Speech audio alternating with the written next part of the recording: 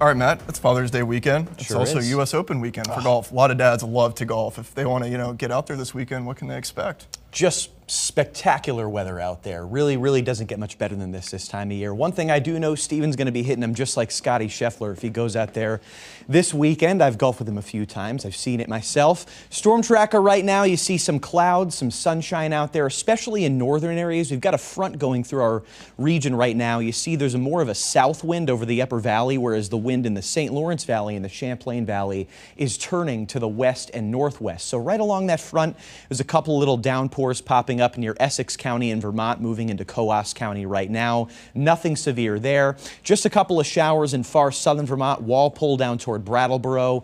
Should be ending in the next 20 minutes or so. And then the sun comes out this afternoon. So behind this cold front, it's much cooler and much drier. We've got high pressure that's moving in for the weekend just in time.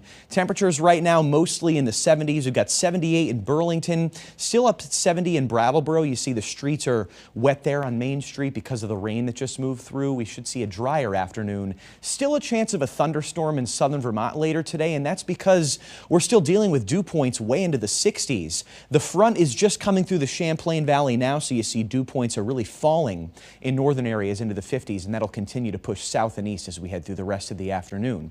You'll see on Futurecast really not much going on. Even in southern Vermont, there could be one or two storms, but I think the severe threat is quite low at this time. Now, behind that, the weekend, man, it's just looking spectacular.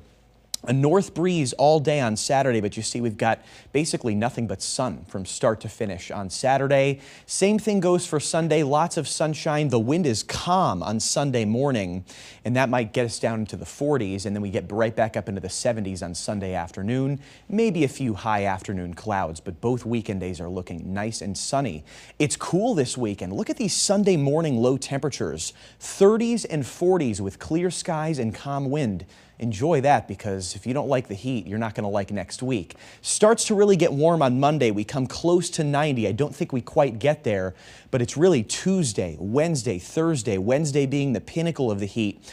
Upper 90s likely with lots of humidity on top of that. So it's not like it's dry out there. You see how the dew points really go up later on Monday. So I think Monday is fine humidity wise, but then Monday night into Tuesday especially, we get up into the oppressive category. You see Tuesday through Friday, we're sort of fluctuating between the very humid category and the oppressive category. So we're talking Florida levels of humidity each of the days, Tuesday through Friday. So enjoy the weekend. We've got a stray storm today. Behind that, it's nice and comfortable Saturday and Sunday. And then Monday and Tuesday, that's when you really start to notice the increase.